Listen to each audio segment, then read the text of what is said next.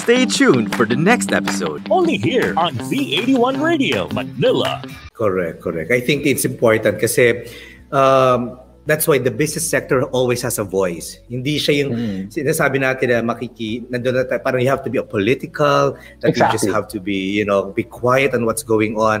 Because anything that that's going on in society, policies-wise, will always have an effect on business, on the economy. And uh, that's what I said. What is economic is political too, you know. so may ganon. I completely, diba? But, I completely uh, agree. Uh, sana naman wala nang ganyan na mga bills kasi like dozens uh, talaga. Nag-start kasi sa na online business. Siyempre, di ba, hmm. nung unang lockdown, sulputan ng mga online business. So, doon sa nag-start. Tapos, mm-hmm. yun, medyo nagkaroon nga ng lakas ng loob. Saka, may mga nabudol naman kaming sumama sa amin magtayo nito.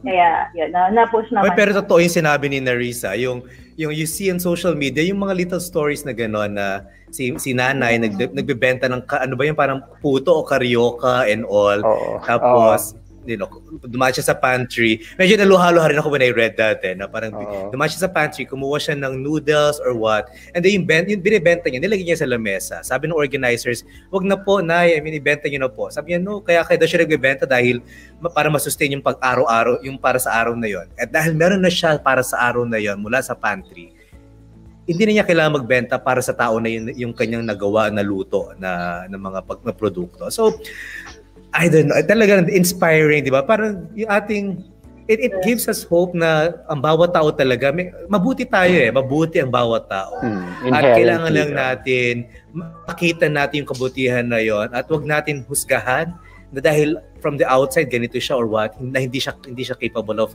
of becoming and, good. And, and importante rin kasi na existing na yung mga organization na yan before before the community pantry phenomenon before quarantine eh, na parang meron ng infrastructure o meron ng Mm-mm. parang at least may hierarchy na ano sino ba who does what, 'di ba? Na at least na madali na kayo naka-organize at nakatulong sa, sa ibang sa ibang tao kasi existing mm-hmm. na siya. Tsaka talagang from the community galing yung mga uh, volunteers. Ay, ano, minsan yung ay, ako that's irony kasi kung sino pa minsan yung underrepresented, yung mga walang privileges, mm-hmm. yung mga uh, oppressed and you know, like talagang nasa nasa gilid-gilid ng ng lipunan.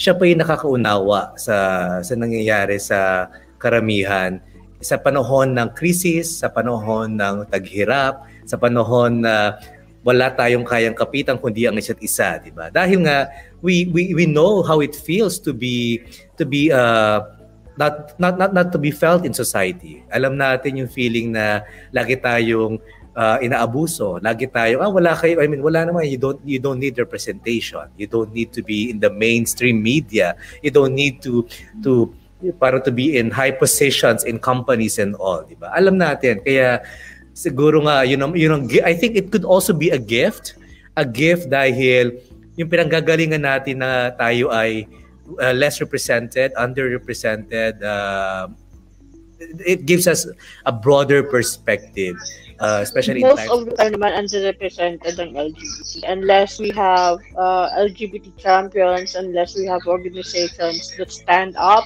and be recognized and be visible for the whole community.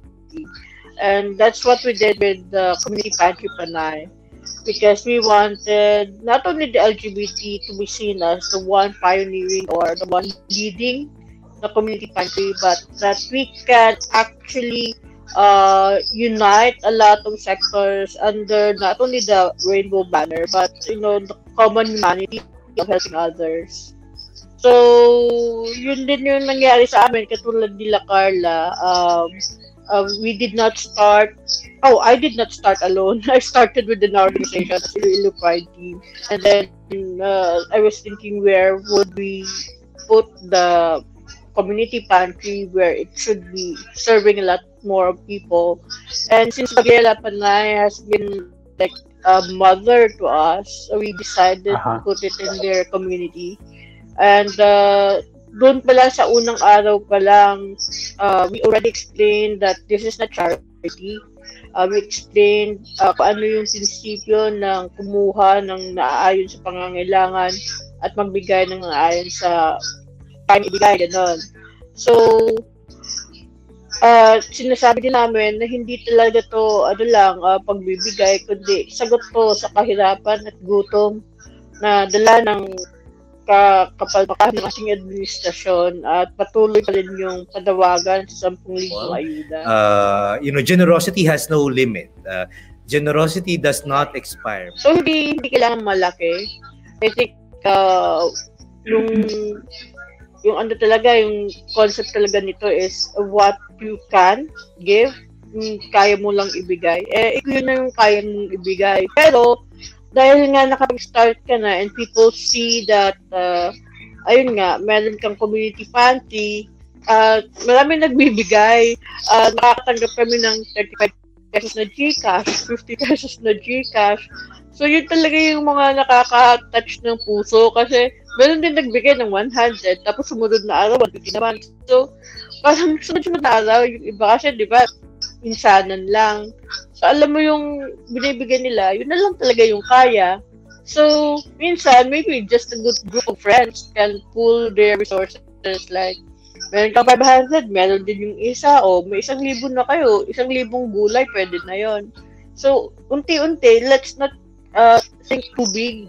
Kasi, uh, ganun nating inspirasyon si Maginhawa sila Patreng na what they had in their pantry, yun yung nilabas niya.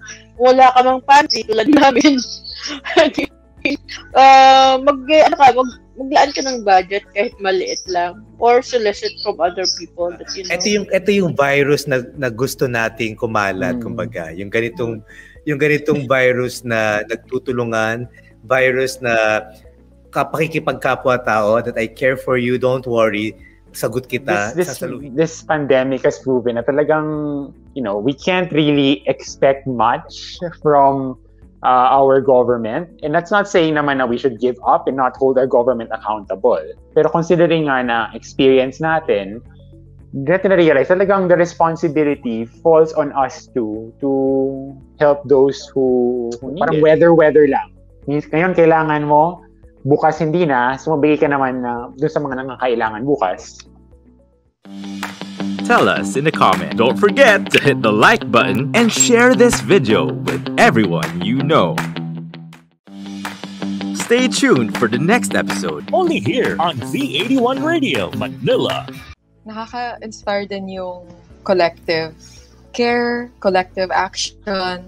As we saw like in a span of a few days, kumalat ang iba't ibang pantry sa buong Pilipinas. And we see um, citizens, uh, different people um, rising up, no?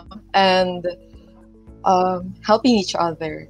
So, it shows na andyan tayo, no? Para sa isa't isa. Po, bago po uh, magkwento tungkol sa community pantry, uh, gusto ko lang muna i-appreciate yung contribution ng LGBT community. And ano, sobrang laki ng tulong yun. And alam ko, uh, kitang-kita ko yung presence nyo talaga.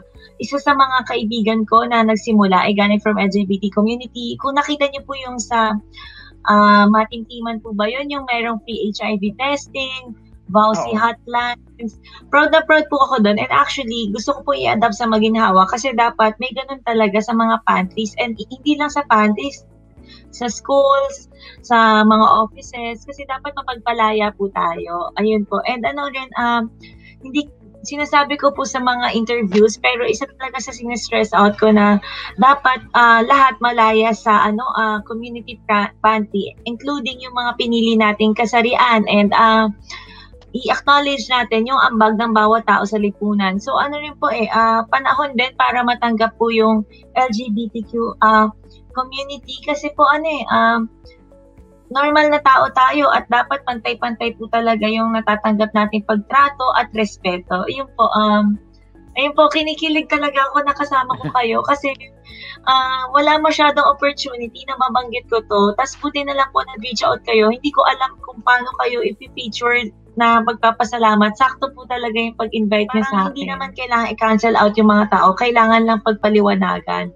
And tingin ko po yung pantry, magandang venue siya para pag-usapan yung mga ganitong bagay and para i-correct yung mga mali nating kaalaman nung lumalaki tayo. Ganun talaga, hindi natin masisi yung society. Pero habang may kamulatan na tayo, at sikapin natin mag-aral. Ayun. Isang uh, it this, this changes the orientation this changes the the, the culture itself um, it could actually develop into uh, developing the political maturity of the Filipinos and uh, this is not just about the community party this is about us maturing that we can do something for ourselves so take Actually, everyday pinipigil ko, pero mas naiiyak ako pagka ano, uh, yung farmers nagdo-donate.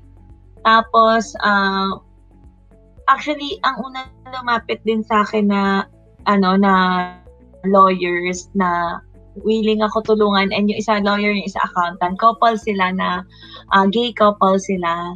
Tapos, so, yun yung time na takot na takot ako sa, ano, sa red tagging and hindi ko alam yung gagawin. Tapos sila yung sobrang comfort ko na, sobrang happy ako na parang ito yung mga kasama ko, alam ko ligtas ako, ganyan. And ito yung uh, umaalalay sa akin. So, yung mga simpleng bagay, ano eh, uh, syempre masaya pag madaming donasyon. Maraming maraming salamat. Pero yung kwento ng mga maliliit na tao, maliliit na struggle, yun yung parang nagpapabuhay sa atin. Ayun. Tapos ano din, uh, syempre alam niyo din yung pakiramdam na walang representation nga. Parang ano rin eh, uh, yung community pantry, nare-reflect na rin yung struggle ng LGBT community kasi uh, nawawalan din ng boses yung mga tao. And pero ngayon, uh, na-empower sila. Katulad nyo rin, na-empowered sa community nyo. Yun, masaya ako kasi ano, nagtutulungan tayo talaga. uh, you don't need to have uh, a big amount to start your own community pantry. And then you should actually the community to help you out. Uh, one more message. Salamat talaga at pinicture nyo din si dito. This is the only uh, time or only opportunity that I would be able to talk to her. Kasi nasa Iloilo ako. and then, uh, being uh, still a hopeless romantic, we still hope for a better future for not only for uh, today's generation but for the future generation too. So, uh, keep improving culture of giving and uh, helping each other. We hold so much power, so much beauty. And yes.